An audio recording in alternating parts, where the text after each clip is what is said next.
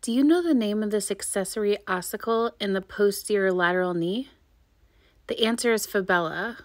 In some patients, this can be found at the posterior aspect of the lateral femoral condyle and the overlying articular cartilage. It usually is embedded in the lateral head of the gastrocnemius tendon. If you come across this finding in either one of the knees, don't mistake it for pathology. I know it can look similar to a loose body or an osteophyte, but it's just a normal variant. Thanks for watching.